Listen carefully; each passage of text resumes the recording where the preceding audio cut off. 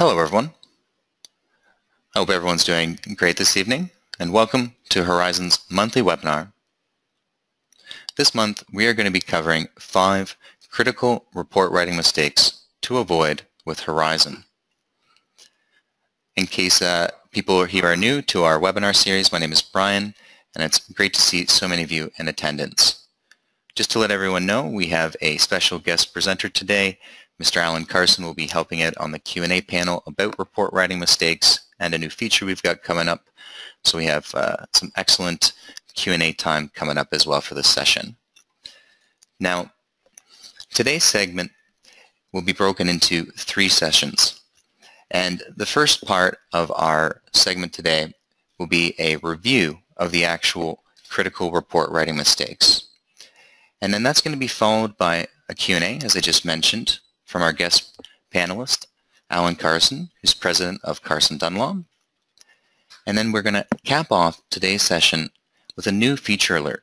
We actually have an incredible new feature called Action List, which is an on-demand agent negotiation tool that is completely free to Horizon users, and it's something you'll be able to take advantage of. So for those interested, stay tuned, and after the Q&A period, you can learn more about Action List. Before we actually get into the mistakes themselves, I would first like to introduce a term that we call report noise. What exactly is report noise? Well, report noise is unnecessary or vague information that doesn't add value to the report. It makes the report longer and harder to read, which causes you, the inspector, to spend more time writing. It can increase your liability and ultimately should be avoided at all costs.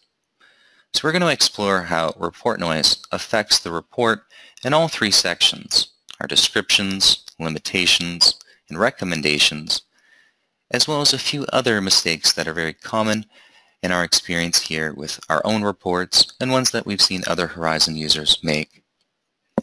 So without further ado, we're going to jump right into mistake number one and see how report noise can affect the description. Now, often the description contains too much narrative on items that are largely un unimportant, or it mistakenly details deficiencies and limitations, none of which it's ultimately designed for. These unnecessary comments we would consider report noise.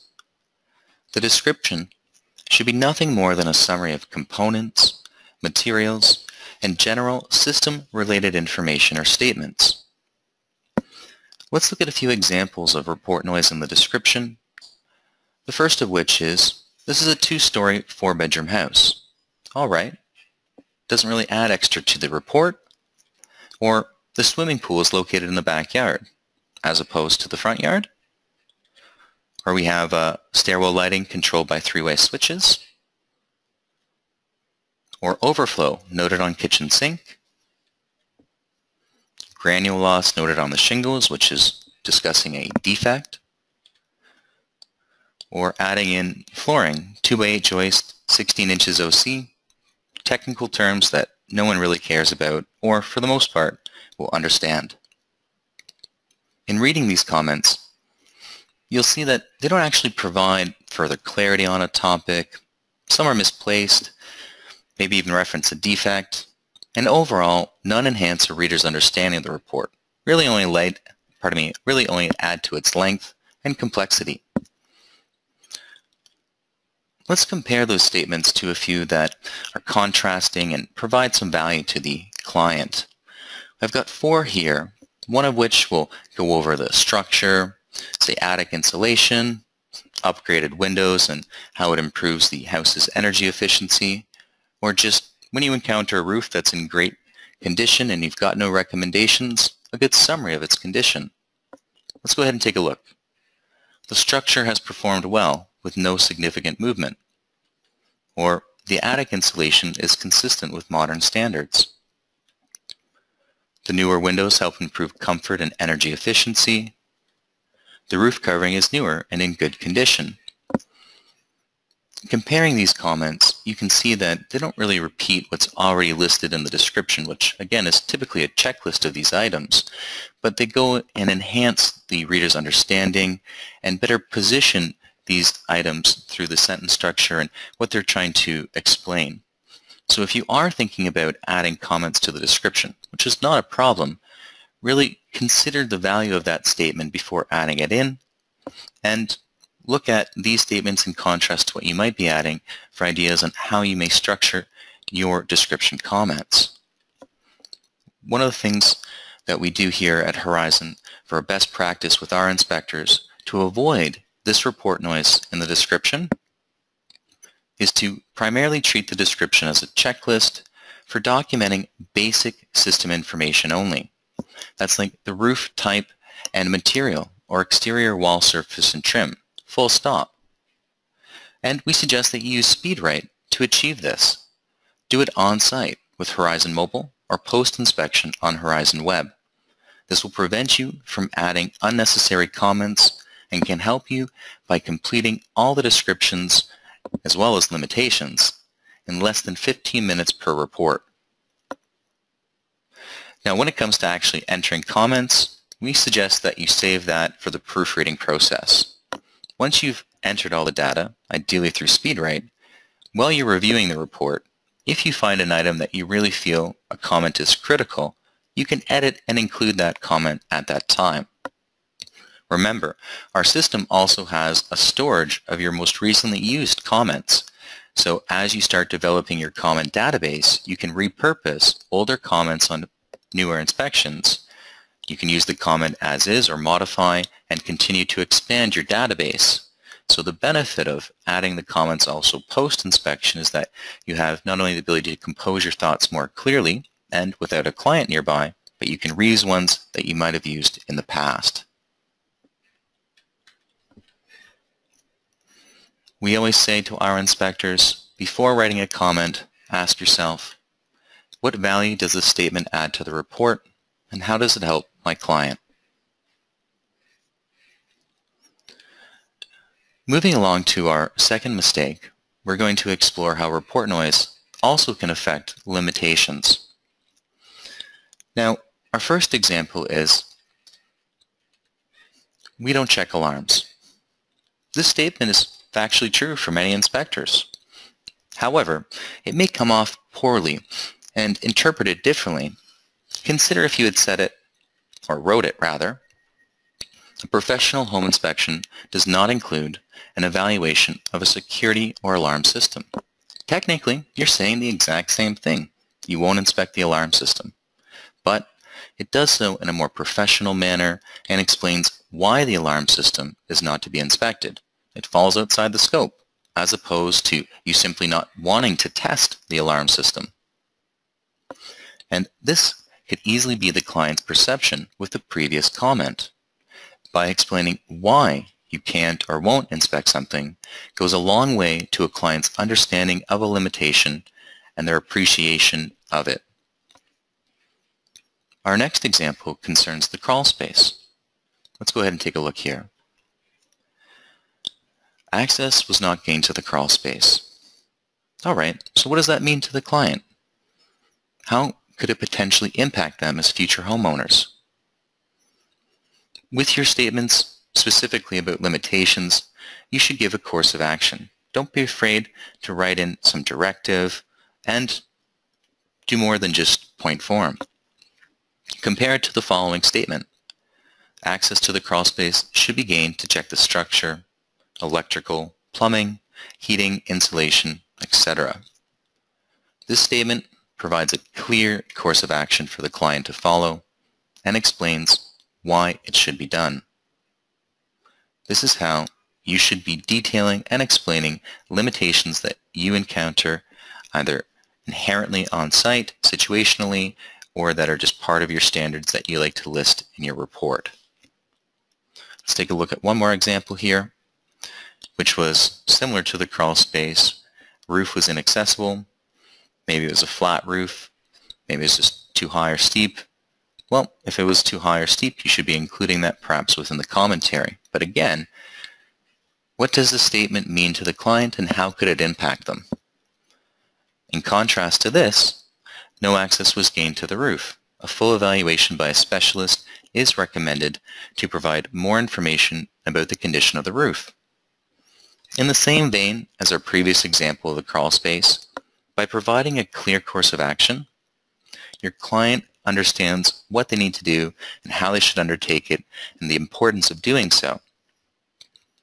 As opposed to the description, which again we are more in favor of simply utilizing as is without any embellishment, your limitations, when encountered, you should give an explanation for them. It doesn't have to be super long, but it should be clear, concise, and give them directive. For our inspectors, the Horizon best practice is first and foremost use search in real time during their inspections on Horizon Mobile. This allows them to document anything that they encounter as a limitation or prevention to the inspection in real time. They can also take photographs of that limitation, which are already in the report.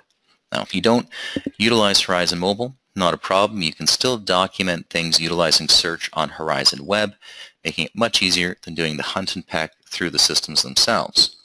But by documenting the things that you encounter in real time and taking photographs, you're going to have that information for when you're back at the computer and you can then compose your thoughts, establish a statement, or reuse one that you might have done in the past. Situations that search would be beneficial in real time for that we commonly may encounter, say storage or a car in the garage, solar panels or deck covering the roof, Perhaps you're unable to remove the electric panel cover for a specific reason, all of which you may choose to document with photographs. We also suggest that uh, you explain a course of action and why it's important. Don't just simply stipulate the limitation itself. You want to give them more than we couldn't do this or we don't do that. Why couldn't you? Why can't you? And why should I care? What should I do about it? And lastly, for your standard limitations, like how you inspected the roof or which plumbing components are not inspected, you should use SpeedWrite. These things fall outside of the scope of what you would typically document with photographic evidence, but they are still part of your required item list, and in turn, the best thing to do is accomplish filling them out through SpeedWrite. Hate to sound like a broken record, but in order of efficiency and accuracy if you can fill out all of your standards of practice, limitations, and descriptions using SpeedWrite, you'll find that you enter less comments, your reporting is more accurate, more consistent, you spend less time doing it, and your comments will be where they should be, under your recommendations and things that really prevent parts of the inspection.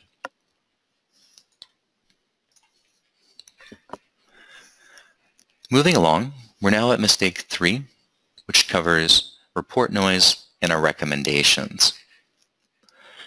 The most common mistake when it comes to report noise in the recommendation section is the overuse of my items instead of the default database. Not only does this add a tremendous amount of work for you, the inspector, on-site or back at the computer, it ultimately just is too time consuming for you to be able to improve the efficiency of your work. So you want to try to get out of the mindset and approach of using my items in favor of using the database items. And I'll show you a few examples that I've encountered recently in our own inspectors reports where they favored the use of a my item instead of using the default database. And one of the things you have to learn is just a matter of our vernacular or terminology, which will make the search function even easier for yourself so these issues won't arise so much. Our first example here is a my item missing, loose, or torn roofing shingles are observed. Evaluate and remedy as needed by a qualified roofer. I'm going to break this down into a couple components. The first of which is missing, loose, and or torn roof shingles are observed. So this is a component and the defect. Sometimes you say things were observed, sometimes not. In my opinion, that should be admitted since it's obvious to the client. There's no implication for this one. looking at the second part, this is the task. If the shingles are missing, loose, or torn, they need to be repaired or replaced.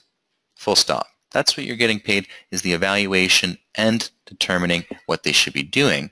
So in this case, we would repurpose that into using the Horizon database with one of our standard items. You can see that it's nicely structured where you have our component, sloped roof asphalt shingles, the condition, the implication, which is automatically included with our standard items, and then the structure of our location, task, time. And I know many inspectors won't include cost estimates, but if you're willing, also the cost.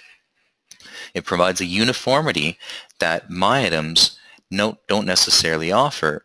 And furthermore, when it comes to issues that you may want to over-explain yourself because you feel that clients may not understand, well, that's where, my apologies, I went back a screen. That's where our condition links to more information prove very useful. For the end user, they click on that link and they get a reference article. They can read this and educate themselves. This hopefully minimizes the amount of calls you get about questions of the report and for you to explain this or that. Furthermore, it eliminates you from having to write out extensive explanations on things that we've already addressed for you. Looking at another example here, we have lights are not functioning. This may be a result of a bad bulb, test with new bulb, and remedy if needed. Well, lights are not functioning. This is a component and a defect. This may be a result of a bad bulb. Test with new bulb and remedy if needed. This includes a possible cause. This goes beyond most standards and is not addressed in most recommendations. It also includes two tasks. Try a new light bulb and make repairs if needed. I'm not sure the sentence would be clear to most homeowners. What do you think?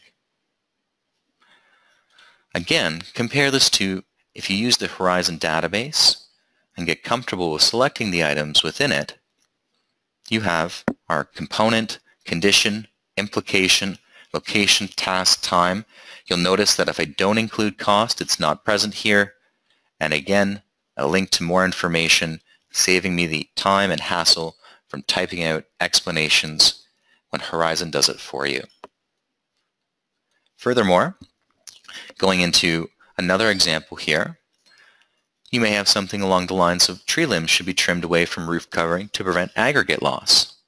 And oftentimes the reason why you may be resulting in creating a my item for these is that you tend to not necessarily search for the right word or think of how the database is built. You always want to think of the defect and component secondary. So in this case, first and foremost, I'm not going to split this into two because this includes component, task, and implication. The problem is assumed. The implication, in this case, is also specific to asphalt shingles. In my opinion, most clients would not understand the term aggregate loss. So again, it's technical jargon for most people. In contrast to our system, we have it neatly laid out. You'll notice, though, that this condition, which in some cases many people would say is self-explanatory, doesn't include a link to more information. And you're right. We're not going to explain that, that uh, a tree branch touches the roof can be problematic in a secondary article when it already explains it here. But what we will do is help illustrate things. You can see here that automatically included within this report is an illustration about trees and shrubs too close to the house. Everyone knows the age-old expression, a photo or painting is worth a thousand words. We've got it right here to help take that burden of entering those thousand words for you.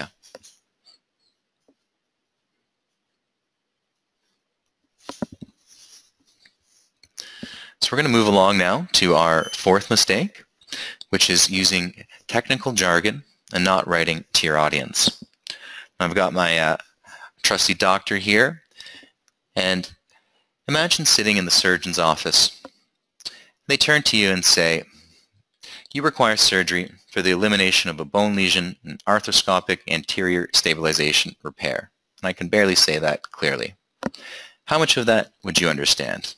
Because the reality is when my doctor told me that, I said, you're going to stick what? Where exactly?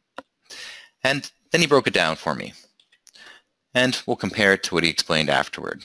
You require surgery to remove a piece of broken bone from your shoulder and repair its stability. Now, to be honest with you, wasn't sure what I liked most, not knowing or knowing what had to be done, but it speaks volumes to your situation as an inspector as well. When people tend to use technical jargon in any trade or vocation, and you're sitting on the opposite end of it, it doesn't feel too good.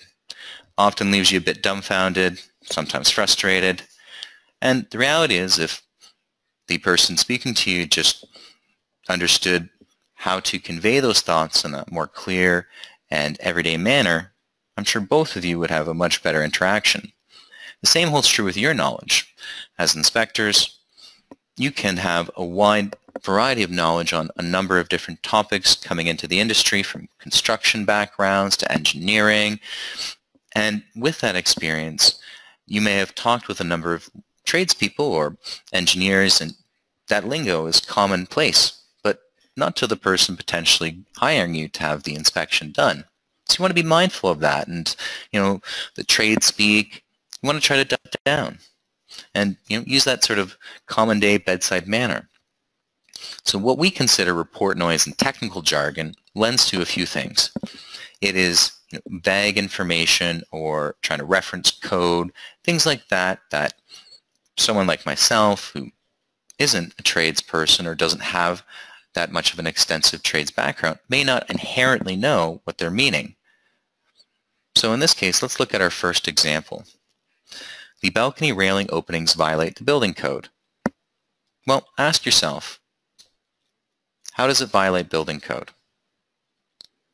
Why should it matter to your client? What should be done to fix the issue? Well, let's compare it to a revised statement. The large openings between railing spindles may present a safety hazard. Reduce the opening width to 4 inches maximum to improve safety.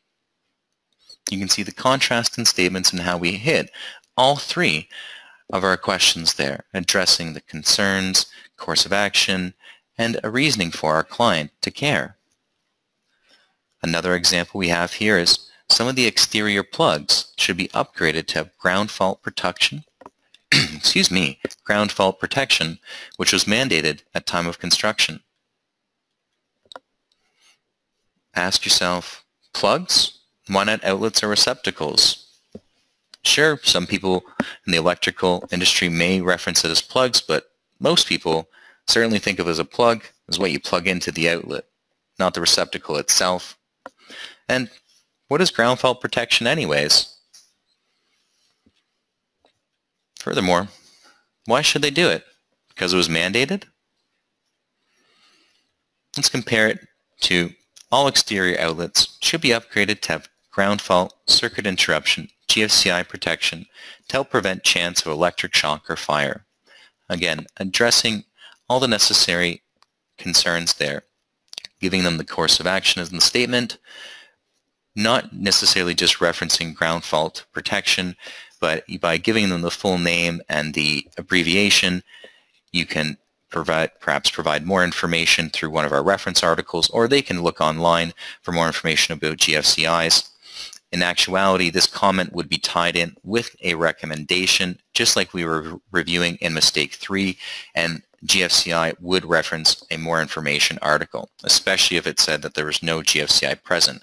That is a safety concern, something many people would consider adding to their summary page, and I assure you that we have an article that references that. So this comment, in the large part, can even be redundant, but it is something that you could supplement the recommendation with. As far as Horizon best practices, our inspectors try to avoid technical jargon and they write to the audience by avoiding terms like reverse polarity, backdrafting, truss, swale, none of which most people would understand. and they rely on Horizon's built-in articles and illustrations to explain complex terms and issues. They keep their comments succinct, and they use proper word choice and sentence structure, all of which can be easily overlooked in the interest of just trying to get things done quicker. This is also why I go back to positioning the commenting portion or report writing element of your reports to post-inspection when you're not dealing with a client so you can either compose your thoughts more clearly or again reuse comments that you might have purposed in the past. Remember, we are writing to communicate, not intimidate.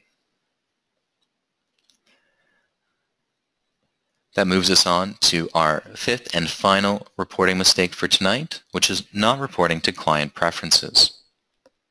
It can often be a struggle for inspectors to separate their own preferences on what a report should contain to that of what appeals to their target audience.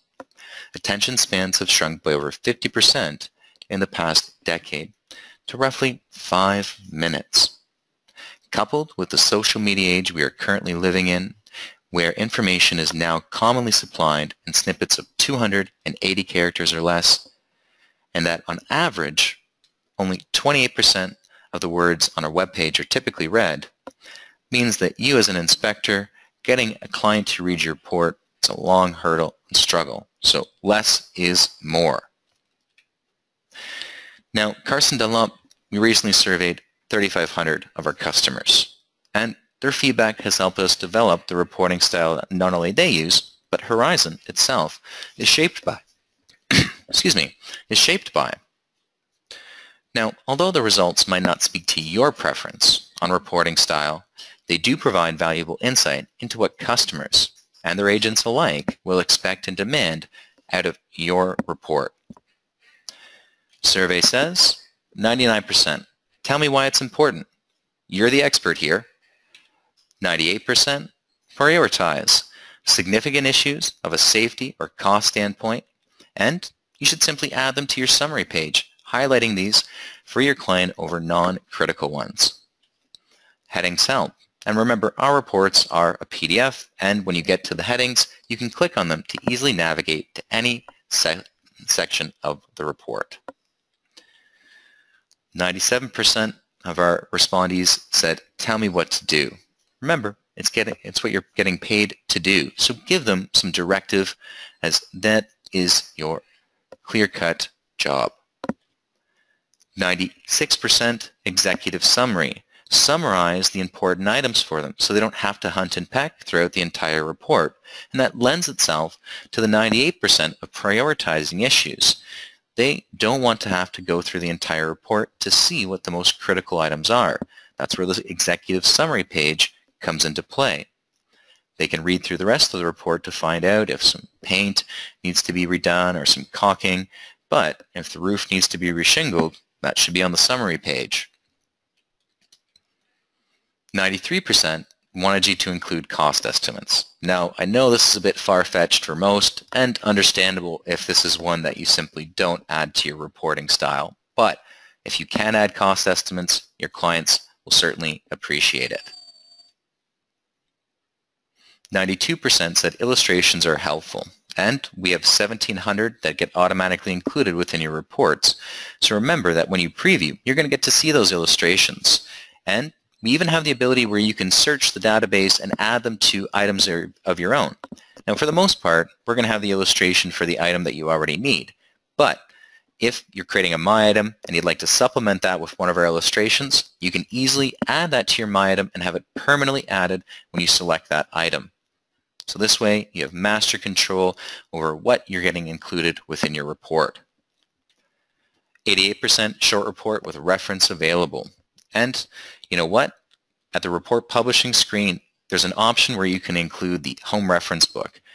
Over 200 plus pages of great self-help information broken down by systems and critical information that you can include free of charge for all clients. They can access it from the report at any time great, great information, and it helps you also not have to over-explain yourself in the body of the report.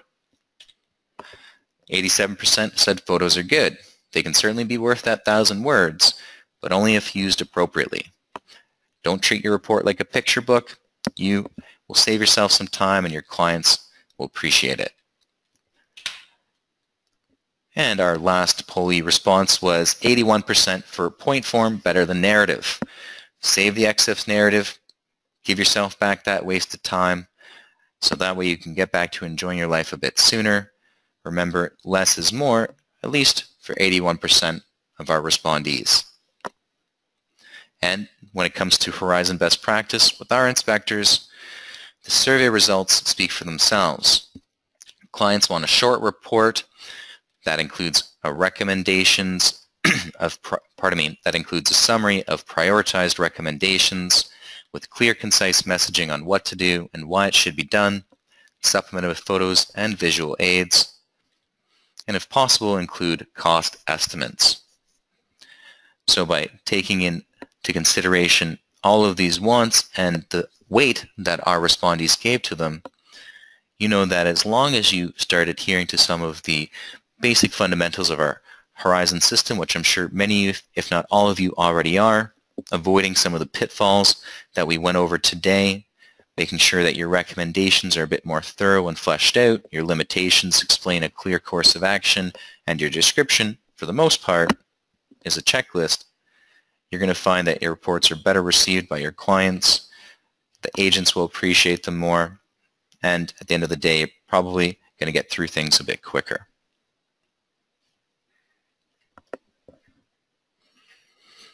Clients want the key messages clear, short, and sweet. I'll leave you with, do your reports deliver? So folks, I really appreciate everyone attending our webinar portion today. I now would like to open up the floor for any questions. And again, Mr. Carson, our panelist, will be certain to address any questions that you have about report writing mistakes or reporting. All you have to do is type them into the chat window. I will be glad to address those questions one at a time, or, or more specifically, Alan will. And then again, after that, we will be addressing the action list. And the action list is our newest feature, which is available to everyone as of today.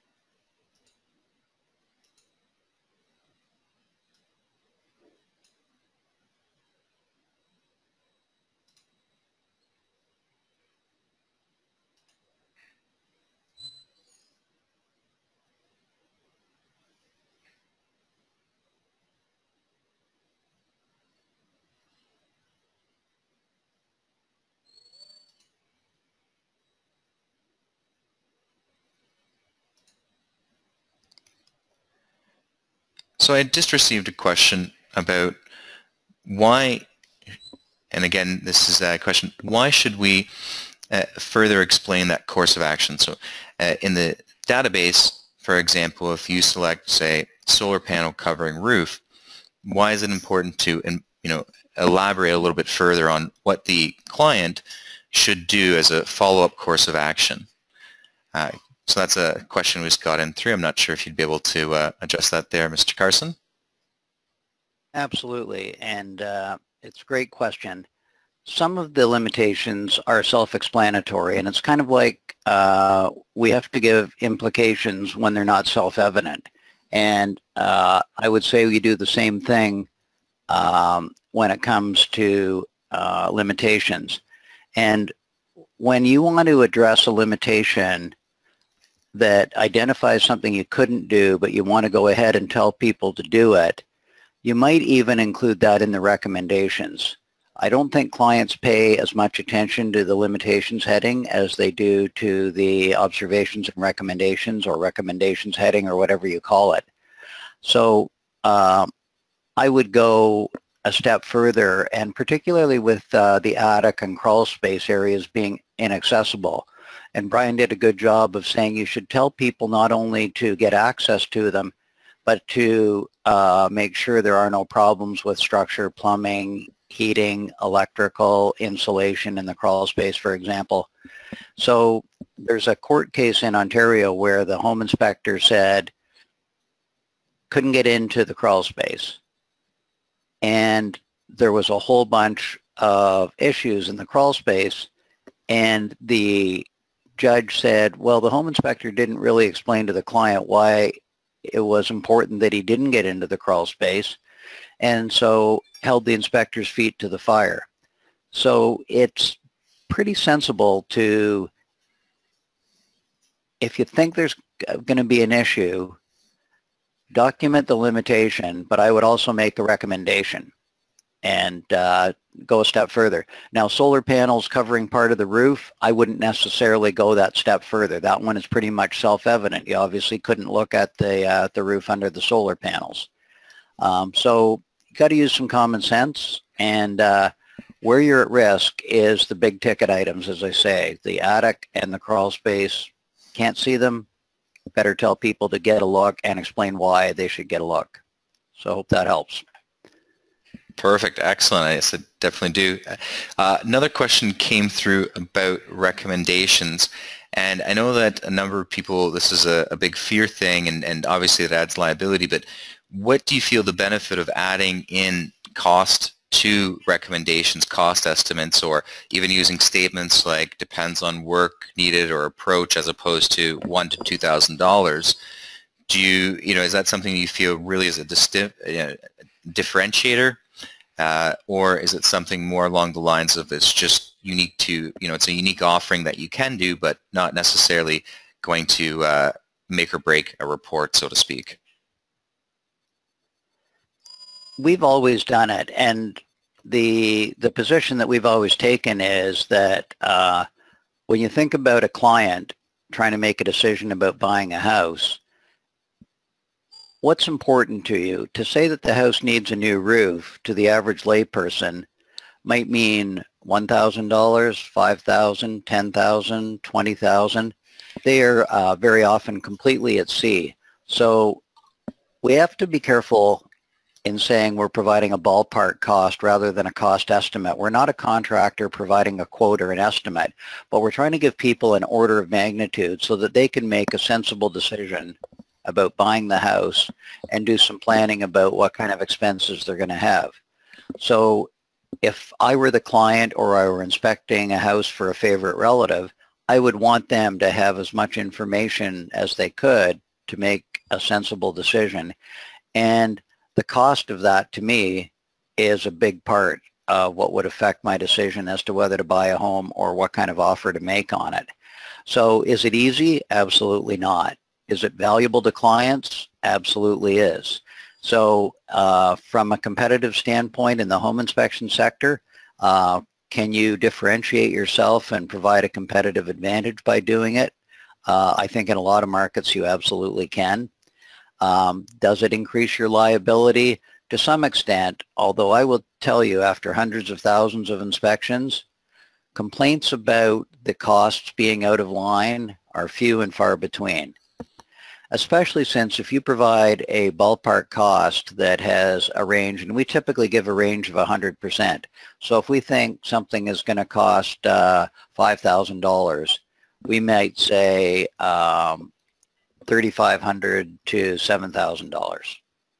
Um, so we're just trying to give an order of magnitude. And generally speaking, with that kind of order of magnitude, you can almost always find somebody to do the work that you've described for that range. So it hasn't been a huge issue for us. I understand how intimidating it sounds, but it's not as bad as you think. Um, there are all kinds of cost estimating books out there. Our life cycles uh, and costs guide provides uh, not a bad benchmark for uh, a huge number of the items that you're going to talk about in your report. Um, there's the Marshall Swift stuff, Dodge, Means, all kinds of cost estimating books. So there are sources out there to draw from. You're still going to have to use some judgment and common sense, but uh, understand it's a bit scary, but pretty valuable for clients. And, and we're pretty focused on providing as much value for our clients as we can. It does help to differentiate us. So it takes a bit of courage, but I think it's uh, worth some serious thought. Excellent. Great. Uh, if you guys, again, if you have follow-up questions to that, please just simply type them in. I'd be glad to uh, get those questions in as well. Now, another question just came in and talking about the description. And, you know, when uh, the description is getting filled out, there's at times a lot of, uh, for lack of a better word, here they put optional, so we'll, we'll, we'll go with the, the actual word here. Optional topics, like, so we'll take roofing. Everyone's familiar with roofing. It's the first one you're going to see when you open up uh, the system.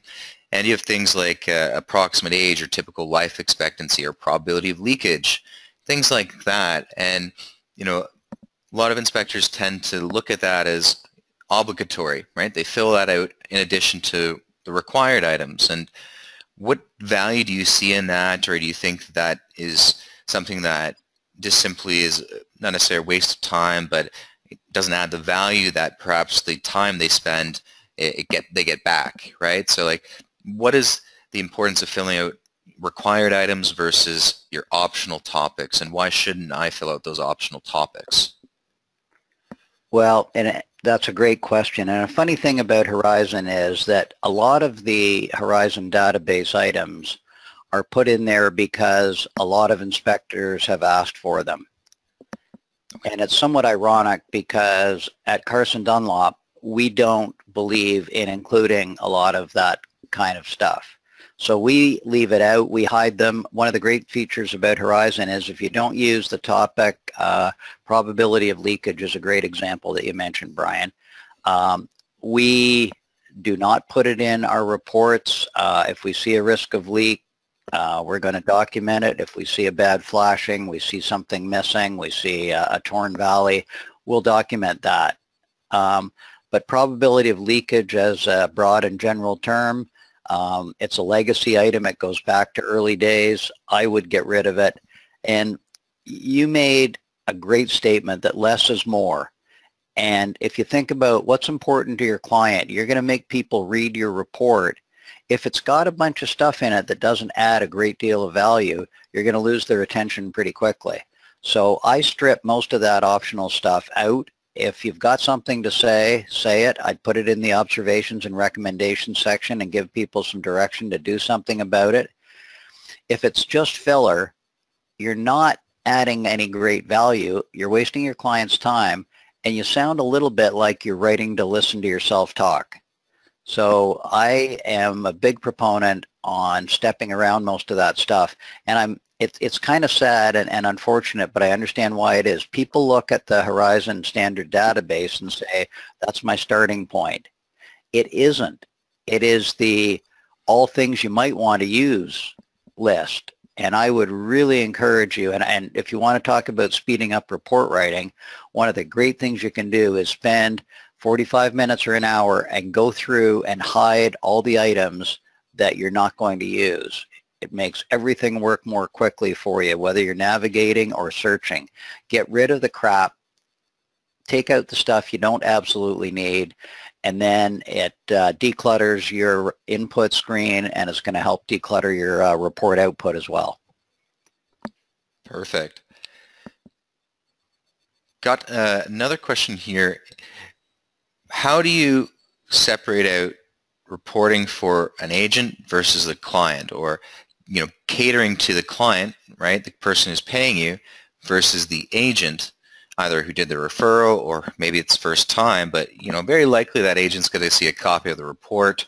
You know, you sort of hope so because at the end of the day, agents are, you know, the driving force for many inspectors as far as their business is concerned. And, uh, so, you know, if agents are favorable to your report, they're probably going to be encouraging their clients to get an inspection through you. But at the same time, they're not your client, right? In that in that general sense, but sometimes you know that that leverage that the agent has can can uh, weigh on the inspector and be hard for them to report.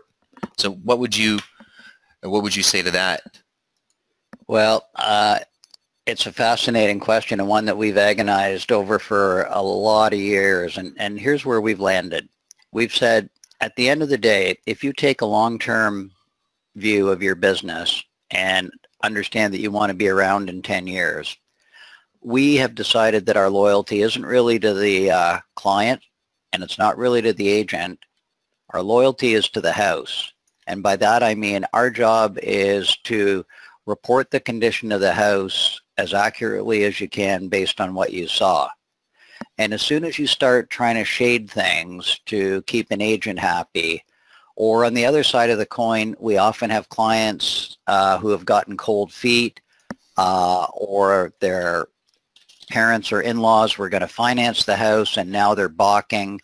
Um, they want you to write an overly harsh report so that they can back out of the deal. We stay away from all of that. At the end of the day, your feet are going to be held to the fire of what's going on in the house and what did your report say. So you have to look forward to somebody saying, hey, this guy didn't report what was in the house. And so you'll get that pressure and I think you may lose the odd agent along the way. And I'm going to suggest to you those are the agents that you want to lose. The good agents are going to want to take care of their client. And while they're going to be interested in getting that deal go through, at the end of the day, they're going to respect that you provided good information, you had great bedside manner, and as a lot of people say, and it's so true, it's not what you say, it's how you say it. So you can describe the condition of the house without being alarmist, without being overly negative, but being reflective of the condition of the house. Get the uh, message across without terrifying people, but keeping it in perspective so that they understand. And in our experience, all the good agents, and agents are just like everybody else. There's uh, great doctors, not so great doctors. There's great home inspectors, not so great ones. There's great agents and not so great ones. We try to work with the great agents, and uh, we find there's a whole bunch out there who get what we do and absolutely accept and appreciate the fact that we try and reflect the house as we see it. If they disagree with you, they'll bring it up and talk to you, and you can have a discussion about uh, why you see things the way you do. You're going to win that argument nine times out of ten. But if they come up with something that uh, you hadn't thought of or a different piece of information that you didn't have, that may change your opinion. And uh, I would absolutely encourage you to be open-minded enough to change your opinion if somebody presents new information you did not have. So it's it's a fine line, and when you're trying to build your business, I understand it's tough to stick to your guns when it comes to giving a, a report that agents like. But you got to look down the road and say you're trying to build a business, and there really is no shortcut to success. You gotta you gotta be straight with the house. Fantastic there. Now, we do have just a quick question here that's more of a, a technical side, so I'm just going to quickly address this one for and get another question for you, Mr. Carson, there but using SpeedWrite and search at the same time. They're really designed to, for two separate parts of the inspection. Search is often utilized for, if we would say, phase one, where you're documenting defects, observations, limitations that you may encounter. Then you would backfill the rest of the report through SpeedWrite as you've already spent, say, an hour and a half, two hours on site you can relatively recall all that information like the, it's a sloped roof with asphalt shingles or you know it was 100 amp service from your memory. So we really designed those two functions to work in simpatico but one after the other. Search to document your findings, then which would again be your defects and recommendations or limitations or preventions to the inspection. Then you backfill your descriptions and those standards of practice limitations, otherwise known as your required items through SpeedWrite, which again will ensure that you're answering only what's critical. Ideally, if you do that on site, then you can do it and, and ensure that everything is addressed while you're still on location, but um, regardless, SpeedWrite is available also on the Horizon web platform. Uh, but yeah, it's really ideally used two separate functions uh, so that way, SpeedWrite itself is simply for the data entry and search is a more comprehensive tool for actually documenting the entirety of an issue. Uh, so hopefully that addressed that one question there. Now, another question came in about costing. What do you say to just keeping things vague, like major or minor cost? Uh, Alan? Well, it's probably better than not doing anything, but when you say major, to one client that might mean $1,000 and to another it might mean 50. So if you're going to put in your report a definition of major and minor, that might be useful, but it really only gives you two data points. And so you might say under $1,000 or more than $1,000. But if you're looking at replacing a slate roof or a cedar shingle roof, to say major and say it's anything over a $1,000, you run the risk of uh, giving people uh, a poor impression of what the actual cost is going to be. So I'm not a huge fan of it. Um, it's better than nothing, but I think it can actually uh, mislead clients and give them a false sense of security. So I, I'm not a huge fan. Gotcha. Perfect. And what about photos? Now, here's a question about photos and the limitations. So say in case you weren't able to access things, maybe there's heavy storage, uh, would you suggest taking photographs of that, leaving them in the report as a secondary to that question? So should you take photographs of things that you encounter, you know, storage in the garage, no access to the crawl space? You know, a gentleman the other day was actually mentioning he saw a black widow spiders. He opened the door to the crawl space, and I was like, oh, you know, I've got a bit of a, an arachnophobia, so I would I wouldn't even know what a black widow looks like. So, but he told me, and I was like, holy cow! Didn't even realize that would be a potential. Uh, he took a photographic nonetheless, and I was like, yeah, I guess you could put that in the report. Um, but what what is your mindset on a taking those photos for situations like that? And that may be on a bit of the extreme, but it was actually something I heard just the other day. And then should those photos be included in the report? So my read on that is take the photos by all means and don't put them in the report. Why? Because they don't add any value for the client. And remember, Brian talked earlier, and I absolutely agree. The focus is on giving the client useful information in as concise and clear a manner as possible. Every time you ask them to read a bunch of limitations, it's really noise to them. It's you covering your butt. It doesn't help them make their decision about buying this home. The reason I want you to take the photo is in the one in a thousand where people call you back and say, hey, there's a half inch crack in the garage floor. You didn't identify it in your report. Then and only then you can pull out the photo that showed the garage filled with uh, boxes and say, remember what uh, the house looked like when we were there? We couldn't get into the garage because it was jammed full. These people were getting ready to move. So that's my strategy. Don't make the client read it, but keep it. And the amazing thing about Horizon is you take the photo, you don't have to do a darn thing. It just gets filed automatically for you. It's stored in the cloud with the report and with the work order. It's always at your fingertips if you ever get a question. And making a thousand clients read it because one one day might have a question about it, to me, not worth it. And it takes time to put it in the report, and you've got to explain it, and put a caption.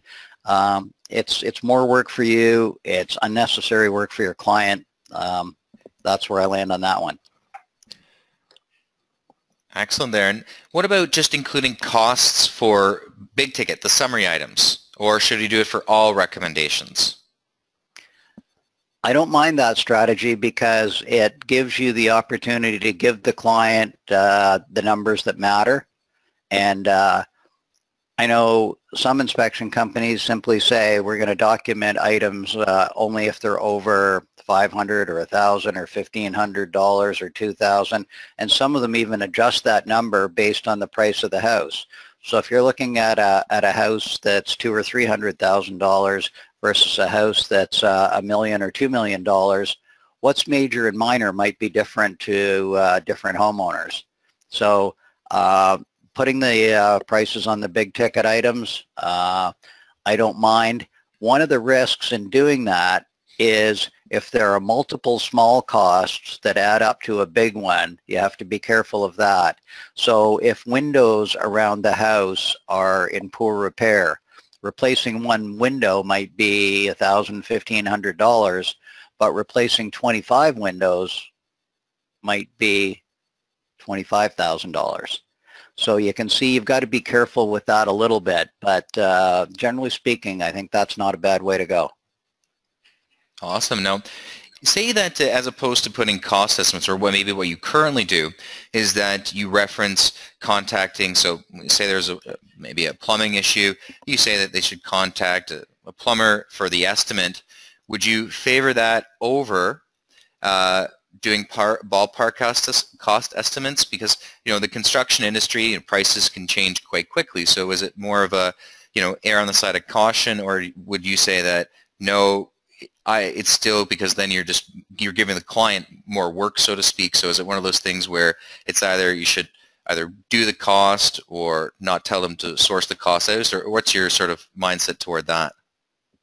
Well, as as I said, I think the providing costs is the best uh, customer service approach. But if you're not going to do it, I would stay away from on individual recommendations. Tell people to approach a roofer and get a cost for this. Approach a plumber and get a cost for that. It makes for repetitive reading. It reinforces the fact that uh, you're not providing as much value as you could and I see lots of commentary on articles uh, in the media critical about home inspection. And a fairly common thread is, hey, the guy told me to go get experts to look at all this. Why didn't I just uh, bring in a roofer and a plumber and an HVAC guy and an electrician and be done with it? So I think you want to stay away from that side of it. If you don't give costs, I might give a general comment at the beginning of the report that says something about um, you should get three quotes for uh, any work uh, referenced in the report. Understand that costs are going to vary dramatically depending on several factors and that you should use qualified specialists. I stay away from licensed or master tradesmen or something like that because that doesn't always apply. Um, if you're getting landscaping, uh, probably not an applicable comment, for example. Uh, and so I just say qualified specialist, so I keep it fairly general. And if you're recommending further evaluation, you might be recommending a, an engineer uh, evaluate a structural issue. So qualified specialist, I think, is a, uh, a safe phrase. And it uh, say it once at the beginning and then don't reiterate it all the way through the report to uh, remind your client of uh, all the work that's ahead of them and all the work that you didn't do for them. Perfect. Excellent there. Now, I know a gentleman uh, asked a question in chat about writing on components that are working properly at the time of inspection. So let's say, you know, AC units in, in good operative uh, condition. Uh, would we just simply fill out the description like it's a AC unit, maybe it's five years old, uh, you know, 20,000 or 30,000, uh, or actually in this case, say maybe three ton, uh, and that's full stop, right? We just fill out the checklist of the description or should we then perhaps embellish that a bit more with adding a comment to that, that maybe, you know, an overarching comment about, you know, the AC unit appears to be in good operative condition at the time of uh, operation or time of inspection. Would that comment, do you feel would add some value to the report? You know, if maybe you're a more narrative-driven inspector, sort of summarizing the list of items in the description with a comment if that's sort of your preference on things, would you feel that that adds some value to it, or uh, what's your take on that? Um, I definitely stay away from that um, for a couple of reasons. One is that it's a waste of the client's time. Um, if you feel compelled, you can say at the beginning of the report, um, where no defects were noted, uh, the report will remain silent. We're only going to address issues that we identified. Um, and the other reason is a liability issue. When you say that it is satisfactory, acceptable, operating properly, functioning well, functioning as intended, all of those to me are a red flag to get sued. And one of my favorite examples is you diligently flow all the water in the bathroom, you run the uh, tub spout, you run the shower, and you say everything is functioning adequately in the bathroom, all the plumbing is working. Well, unless you take off your clothes and stand in the shower, you don't know how that shower is going to behave when the water bounces off somebody, runs down behind the soap dish, and uh, causes a problem in the, the wall behind the uh, tile. So you don't know that it's operating properly. When you're looking at an air conditioning system that's operating and it's 70 degrees outside and 70 degrees inside the house, that seems great. But is it going to work when it's uh, 95 degrees outside with 98% relative humidity? you don't know that things are adequate. You only know if you find a defect. So I stay away from all of that. It takes more time for the inspector to write it. It takes time for the client to read it and it doesn't help them and it increases your liability. Fantastic there. Okay.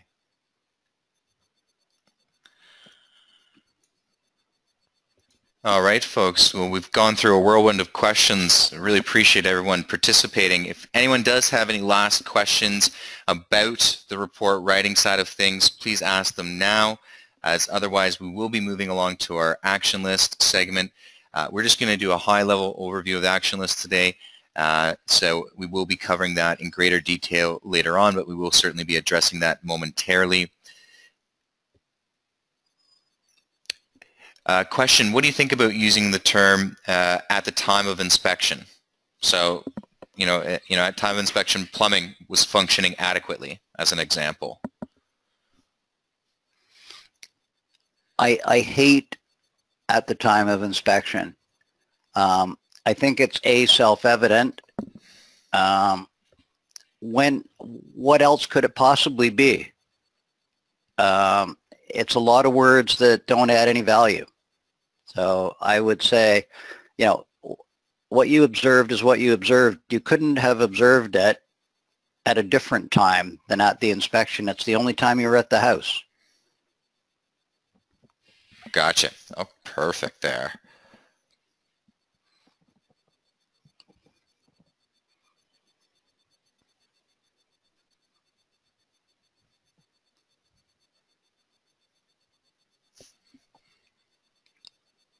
All right, folks, I don't see any more questions uh, coming through there. If you maybe want to clarify about the standards one for ASHI, I would be glad to uh, pose that to Mr. Carson there.